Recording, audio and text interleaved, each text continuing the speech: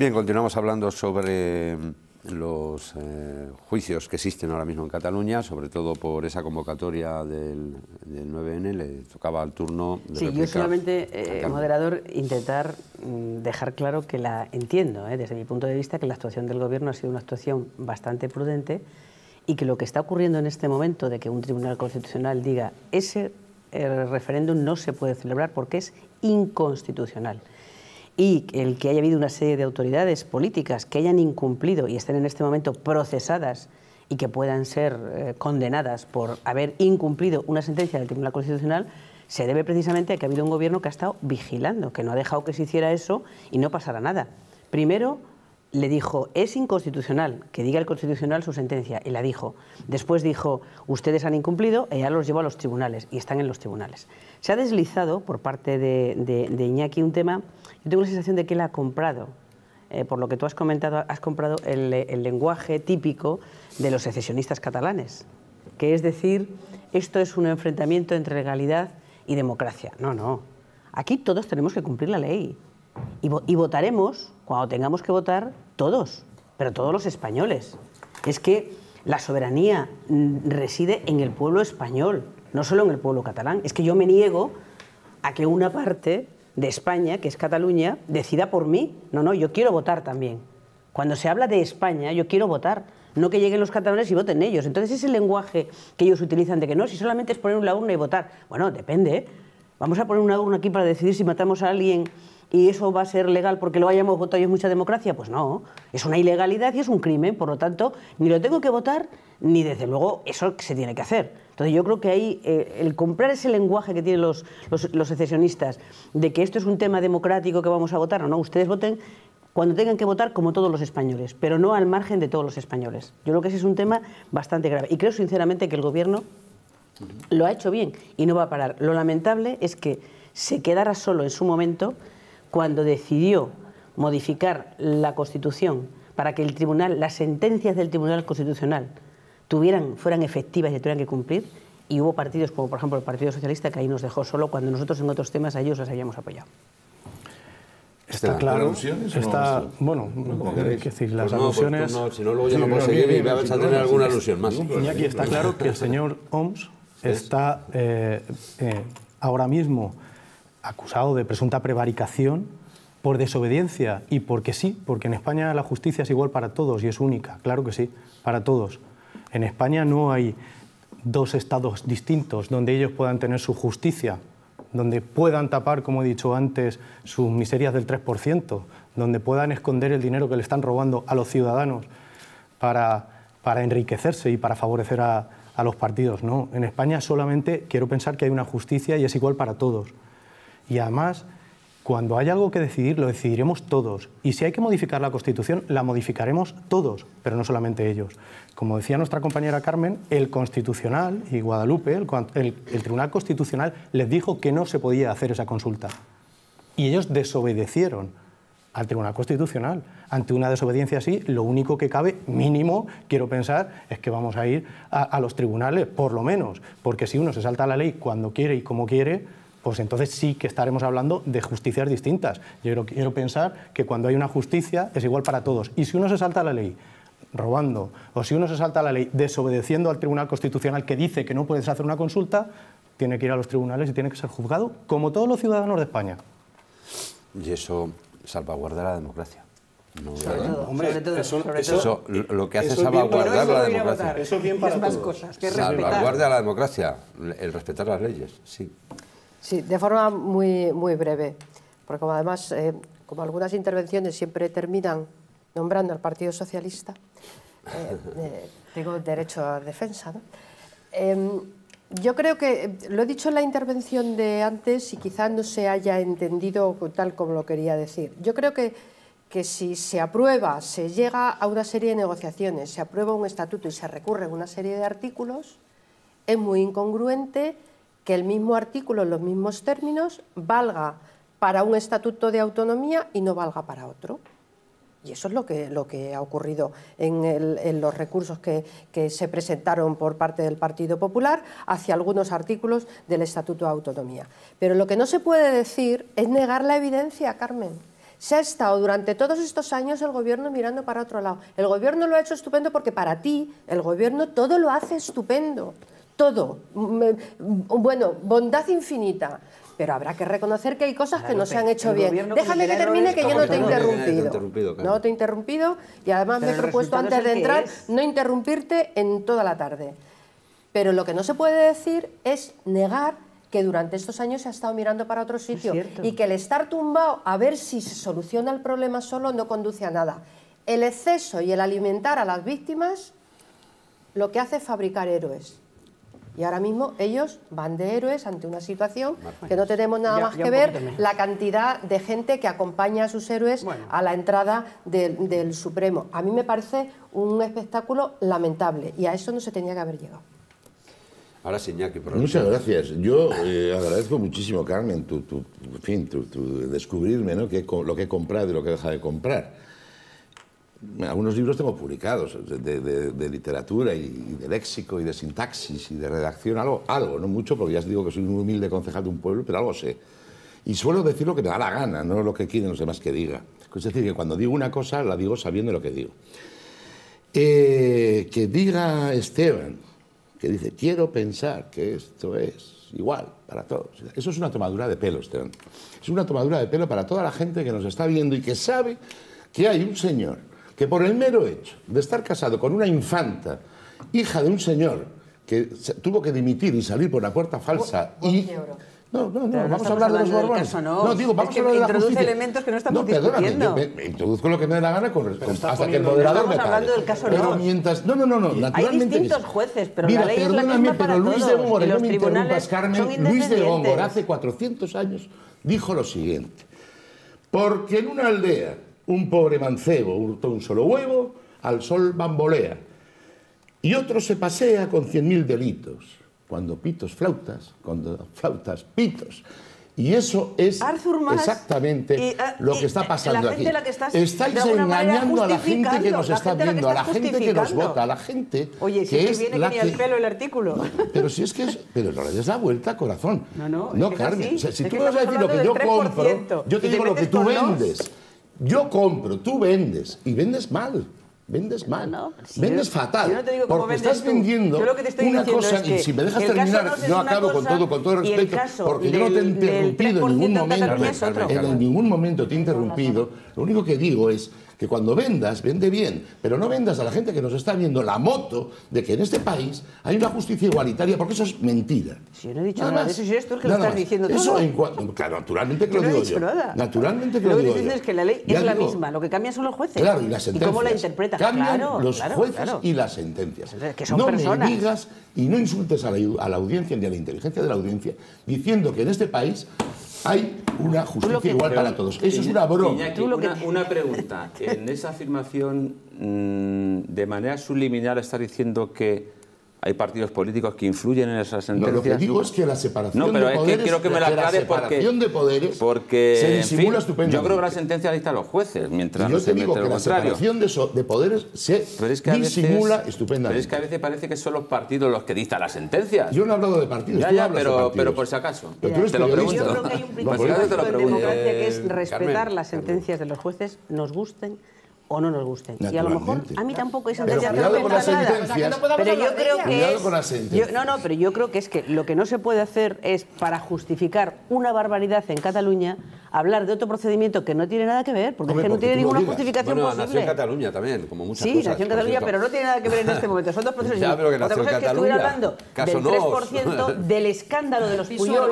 Lo entendería perfectamente del De escándalo todas de los Puyol. maneras, de Eso todas sí que son lo que dice eh, Góngora. seis, seis años de cárcel, Que todavía de no cárcel en y la cuatro cárcel meses se ninguno, cumplen. ¿eh? la Hay que cumplir por lo menos un par de La ellos. aunque- mayoría de no delitos económicos y cuando no hay antecedentes, lamentablemente, no van a la cárcel. No, no. Eh, no, eh, si lo vamos a no. ver, si, si estamos en puertas de recibir más sentencias, a ver cuántos van a la cárcel. Bueno, lo vamos a ver. Pues lo vamos a ver. Lo Por ver. desgracia, eh, Bueno, oye, los de las tarjetas La- las han sido condenados todos, ¿eh? por Todos. desgracia. Y en la misma sentencia, que- en la misma justicia, lo que cambia son los jueces. Deja hablar un A la cárcel. Claro, a la cárcel, dos años de cárcel, no por ejemplo. gente a la cárcel. al, al padre de Ramón Espinar, el portavoz de Podemos en el Senado, por ejemplo. Si dos años de cárcel. Si Podemos dar de Murcia. Vamos a privatizar las cárceles, ¿verdad? Si persiguiera el PP la, toda la ilegalidad que, que, ejerce, eh, seguramente no nos presentaría ni en las elecciones, porque es un poco eh, demagogo, ¿no? Bueno, eh, Estamos hablando de Cataluña. Claro, claro, pero es que la legalidad es en Cataluña, en España no. un partido político que está imputado y se presenta elecciones y, bueno, pues yo qué sé, esto da mucho que hablar, ¿no? es un debate un debate que da en profundidad. Y, Monedero y Y decimos que, ¿no? que y Iglesias, que Antonio, han financiado. Ay, decía, de verdad, Carmen, vas a, eh, vas a pedir además que nombremos a Pujalte y a... Claro, me, déjame hablar a mí estoy, estoy intentando explicarle. Es que no, no, no me impongo, no me impongo. es que no estoy acostumbrado, no soy político profesional y claro. No, yo tampoco. Eh, el eh, fiscal anticorrupción reconoció que son influidos por los partidos políticos y que reciben llamadas y que en, eh, lo han reconocido ellos. O sea, esto es así. España, eh, por desgracia, no tiene separación de poderes y no tiene independencia. no ha dicho eso. No, tiene. no, no, ha dicho eso. Lo que pasa es que, no tiene la que se merece una democracia digna y saludable. Cuando le han dicho, diga usted quién le quién le ha presionado. Le ha dicho, no, los políticos no, otros. Cuando le preguntaron... No, no, eso se lo han preguntado ayer, porque alguien le ha dicho, oye, es que usted ha incumplido la cuando ley. Le preguntaron, si a usted eh, alguien le ha presionado como fiscal y usted no ha ido a los tribunales a denunciarlo, está usted incumpliendo la ley. Cuando le preguntaron... Oye, te hablo, que, digo, si hablas cuando quieres en este debate, como, pues, digo, pues yo también lo puedo hacer. Cuando me le preguntaron... ¿Lo igual que tú ahora, si no, no, pero lo hago por contestarlo. Sí, pero que tú también lo has hecho. No, vale, bien. Me tocaba antes intervenir y le has contestado como moderador. Yo compro y tú vendes. No, pero yo todavía Todavía no sé qué opina, Diego. No sé qué opina Iñaki del auto del TC. Pero bueno, no, estamos hablando con el compañero Diego, que es...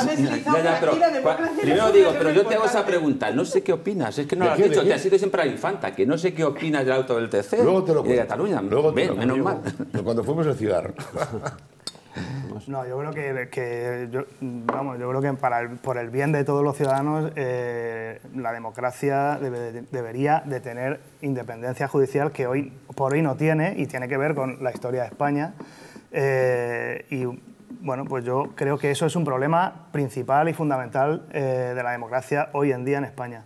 Y bueno, esto eh, estos debates yo creo que, que, los enfrentamientos, lo digo, no, son buenos para nadie. O sea, yo creo que es un problema político que ahora está en los tribunales, pero que no se ha afrontado, eh, no se ha afrontado por el Partido Popular. Entonces, eh, si no, si, no, si no se dialoga, si no se habla, si no, o sea, es un problema político. Otra cosa es que, que, cada uno tenga su opinión de este problema, pero es un problema político y lo lleva siendo tiempo. Dicho, ha dicho que Puigdemont se reunió en... Claro, pero ¿por qué no, se, reconoce, ¿por qué no se reconoce? ¿Por qué no se dice? no, pero si está, está Lleva toda la razón en una cosa, y se lo voy a decir como español, no como periodista ni como presentador de este programa, como español, como español, como español lo voy a decir. Yo es que soy español, yo soy español muy orgulloso Muy orgulloso de serlo.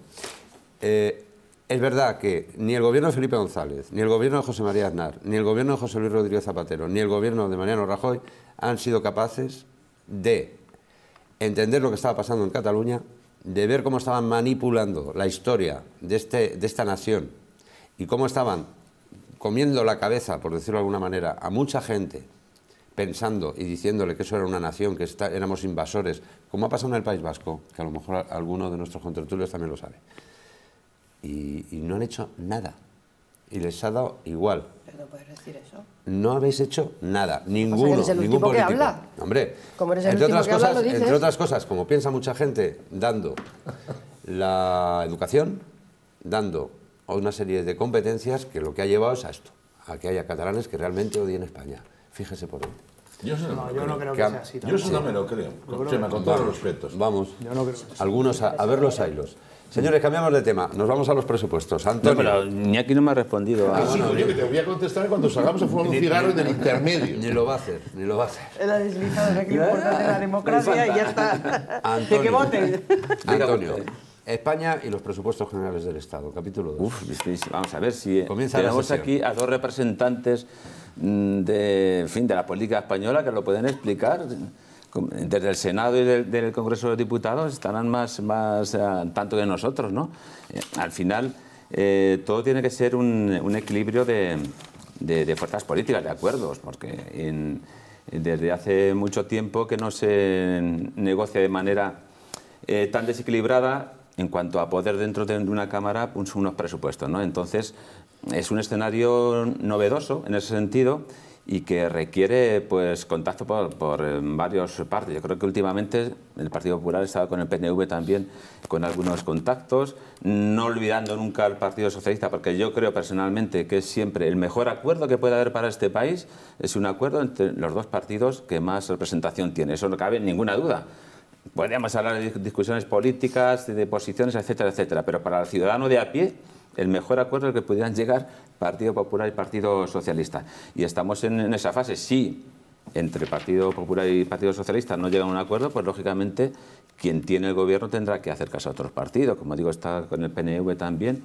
Y estamos en, esa fase, pero insisto, tenemos aquí a dos personas que están en el meollo de la cuestión y me pueden informar. Yo creo que, vamos, eh, la información que yo tengo es que el trabajo un poco de campo de lo que es elaborar los presupuestos, eh, yo creo que ya está hecho. En este momento se está en la fase de negociación. Primero se hizo con, Ciudadanos, que yo creo que en ese sentido se ha llegado, probablemente se está llegando, se ha llegado a grandes, a grandes acuerdos, puesto que hay un acuerdo de, gobierno y, eh, y de investidura en su momento, y yo creo que el Gobierno tiene la mano tendida al Partido Socialista y la mano tendida al PNV y otros grupos políticos que se puedan sumar para aprobar los presupuestos. Yo creo que es importante que los presupuestos se aprueben cuanto antes, en el sentido de que los presupuestos generales del Estado están limitando las capacidades que tienen de gasto las comunidades autónomas y los ayuntamientos. Entonces, de alguna manera, repercute en toda la política de todas las administraciones del Estado, tanto la autonómica como la local y demás. Es verdad que en este momento, pues, bueno, el Partido Popular ya ha terminado su Congreso Nacional, el Partido Socialista está en, su, en la fase del mismo, Podemos ya lo ha terminado, eh, Ciudadanos también ya lo ha hecho, y yo creo que eso también condiciona. Es decir, yo entiendo que un Partido Socialista que está en este momento con una gestora eh, administrando y funcionando dentro del partido hasta que se haga su propio congreso, pues mm, lógicamente pues no quiera de alguna manera atarse las manos en un tema tan, tan importante como son unos presupuestos. En ese sentido yo creo que el Partido Popular está respetando muy bien los tiempos del Partido Socialista, pero sí que sería bueno que se hicieran cuanto antes y se aprobaran cuanto antes, porque es bueno para, para la economía de nuestro país que se haga eso rápido. Y es verdad que van a poder gastar más las comunidades autónomas, van a poder gastar más los ayuntamientos se van a poder sacar las ofertas públicas de empleo porque hay una reducción del, déficit eh, eh, que está más controlada. En fin, en ese sentido yo creo que sería bueno. Pero nosotros entendemos que el Partido Socialista tiene que tener también su espacio y su tiempo para hacer su congreso sin interferencias en ese sentido de lo que podría conllevar el llegar a un acuerdo de presupuestos. De hecho, la información que yo tengo, y no sé si Guadalupe la puede ampliar mejor porque ya está en el Congreso, es que el Partido Socialista, a través de su portavoz de la gestora, ya ha dicho que en principio no apoyaría los presupuestos si el Gobierno los lleva, los lleva al Parlamento. Esa es la información que yo tengo. Bueno, nosotros en, Ciudadanos eh, negociaremos, por supuesto, eh, si los presupuestos son razonables. Y creo que apoyaremos si los presupuestos son razonables. Esto es un poco lo que hay en el acuerdo de investidura que se hizo con el Partido Popular que no ha servido para nada, porque ha dicho el PP que lo firmó, pero que ahora... Eh, bueno, que no sirve para nada, de momento está sirviendo para que se den incluso explicaciones y para que se hagan las cosas entre todos. Lo firmó porque había que firmarlo en ese momento, pero que sabían que no lo iban a cumplir. Ha dicho... Diego, no, yo, yo no te gusta que te interrumpa. Perdón, Bueno, no, no, pasa nada, quiero decir, que incluso está sirviendo para que haya debate, ¿no? Cuando solamente hay un partido que gana por mayoría, entonces sí que no hay tutía, entonces sí que los presupuestos son esos o no son, ¿vale? Eh, yo creo que es posible que haya presupuestos en el mes de junio, que es posible que haya, que haya presupuestos. Ahora con Ciudadanos eh, está habiendo conversaciones, pero lo más importante es ahora sentarse a trabajar. Ahora es cuando hay que sentarse en las comisiones donde viene el intercambio de papeles, donde viene el trabajo y donde viene la visión de futuro. ¿Qué es lo que queremos? ¿Cómo queremos gestionar los impuestos de los ciudadanos? ¿Qué proyecto de, país queremos? ¿no? ¿En qué queremos invertir? Em, es, verdad que no hace falta el apoyo del Partido Socialista para aprobar los presupuestos, pero a mí también me gustaría que el Partido Socialista, porque participara de ello. Yo creo que el Partido Socialista además representa a muchos, a muchos votantes y algo tiene que decir, por supuesto, con los, con los presupuestos. Guadalupe además está en el Congreso, seguro que, o bien, aunque no estás en la comisión seguramente, pero... Eh, en los corrillos hablaréis seguramente y, estaré, y estará bien, ¿no? Lo que sí es importante es que no carguemos a los presupuestos con una mochila política, que no los atemos de como vienen del Partido Popular, yo no los apruebo, porque la continuidad es, lo que tenemos. O sea, prorrogamos unos presupuestos que a lo mejor eso tampoco nos gusta, porque no nos permite avanzar, no nos permite hacer nuevos proyectos de inversión pública, no nos permite que las como decía Carmen, las comunidades autónomas perciban 4.000 millones de, de euros por el nuevo sistema de financiación, ¿verdad? Y yo creo que para nosotros lo más importante es sentarnos a trabajar. ¿Qué propone Ciudadanos? ¿Qué proponemos el resto para que tengamos un objetivo final, que es unos buenos presupuestos para todos? Y esa fase de negociación es la que estamos ahora mismo. El no por el no tampoco los ciudadanos lo entienden, porque además así es la representación que nos han dado en el voto. No, no han puesto solamente a un partido a gobernar, han puesto a muchos partidos que tenemos que sentarnos y entendernos, y dialogar y negociar. Y ahora lo que no podemos es hacer ver que cuando negocias, cuando dialogas con, un, con otro partido, es que eres malo. Mire, no, ni estoy asumiendo lo que dice el otro, no, yo estoy proponiendo qué es lo que quiero hacer y llegar a un acuerdo. Hace poco me decían que, era para mí participar y, yo decía que participar es eh, un poco saber lo que saber aportar a los demás lo que, lo que yo conozco, ¿verdad? Pero también tener los oídos atentos a saber escuchar aquellas cosas que los demás me pueden me pueden decir que vengan bien, ¿no?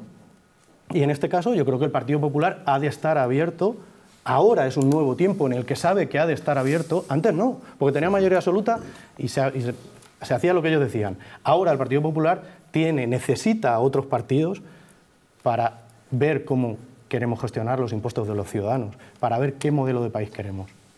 Eh, cuando quieras, Guadalupe Martín.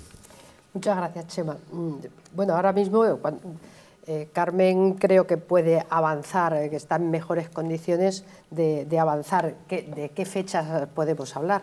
Eh, lo único que tenemos conocimiento por la prensa es que el día 3 de marzo cumple el plazo para que los diferentes ministerios hagan las aportaciones al Ministerio de Hacienda con lo que es su propuesta de, presupuestos. No sabemos, porque no se ha dicho en ningún momento en qué fechas se van a llevar al Congreso y cuándo va a empezar la negociación es de suponer que el Gobierno está negociando con el PNV. Mm, no sabemos qué va a pasar, porque también va a ser eh, va a estar sujeto a la posible negociación que haya, cuál va a ser la postura de Ciudadanos. Es verdad que Ciudadanos en estos últimos días lo que está diciendo es que hay un pacto de investidura que se está incumpliendo y que además hay aspectos que había compromiso claro de poner en marcha y que incluso a la hora de aprobar diferentes iniciativas en el Congreso que hacen referencia a puntos del pacto de Ciudadanos con el Partido Popular, el Partido Popular vota en contra.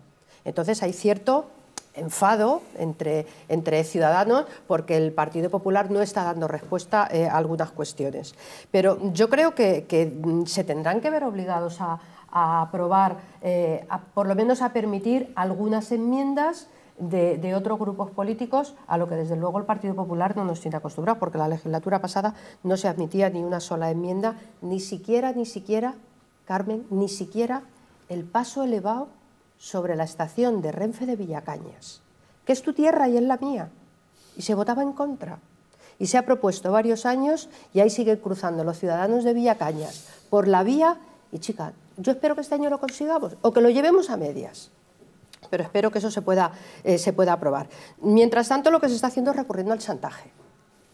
No se permite que las comunidades autónomas apliquen 35 horas a propuesta de la comunidad autónoma porque rompe los presupuestos y curiosamente se recurre a la decisión de Castilla-La Mancha y curiosamente no se recurre a la decisión de Andalucía.